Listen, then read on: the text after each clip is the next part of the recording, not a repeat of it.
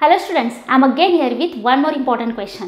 What are asymptotic notations? Asymptotic notations is a mathematical representation of algorithms complexities. There are two types of complexities like time complexity and space complexity. To represent both complexities, we can use mathematical notations. Those are nothing but asymptotic notations. There are three notations used for representing best case, average case and worst case complexities.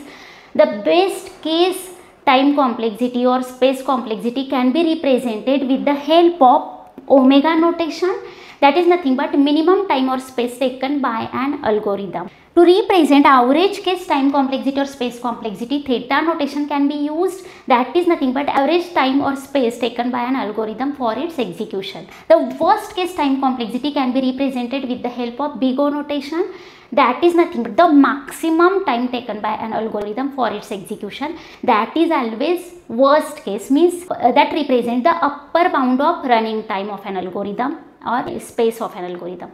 Getting? To learn more subscribe to our channel. Thank you